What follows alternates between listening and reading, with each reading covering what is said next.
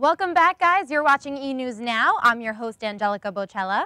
Speaking of glamour, holy Hollywood, some of the most beautiful and badass gals in the biz, like Oscar nominee Rooney Mara and Hunger Games gal Jennifer Lawrence, are all featured on the cover of Vanity Fair's February issue. And we love the glam, old school Hollywood look. So what's the occasion for all these fresh faces to adorn the same stunning cover, and who else is lucky enough to hang with these gorgeous babes? Jessica Chastain and Mia Wasikowska join Jen and Mara on the cover of Vanity Fair's Hollywood issue, which honors the fresh young stars of 2012. And we can't get enough of the girly soft look on these celebs, shot by famed photographer Mario Testino. It's such a transition for these tough chicks. In fact, if it wasn't for Miss Mara's touch of gothy lipstick, you can see right over there, we'd hardly remember she kicked some serious ass as Lisbeth Salander.